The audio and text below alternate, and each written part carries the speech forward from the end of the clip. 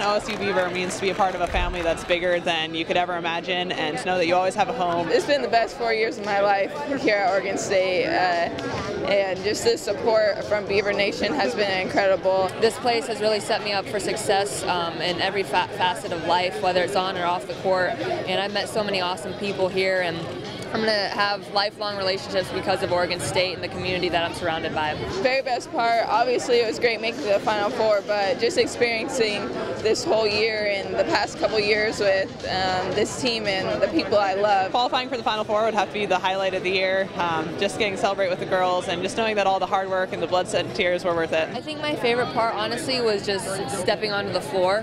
Uh, that's a moment I'll never forget where the, the fans are cheering for us. Uh, you have the adrenaline of game time rush hitting you. I don't know, there's been so many. I mean, that, that's been what's the great thing about this team. It's remarkable what they've accomplished, the crazy support that we've had throughout. And so uh, there's not just one, it's, it's just being with people that you absolutely love and, and believe in and care about and doing things nobody thinks was possible. What's better than that?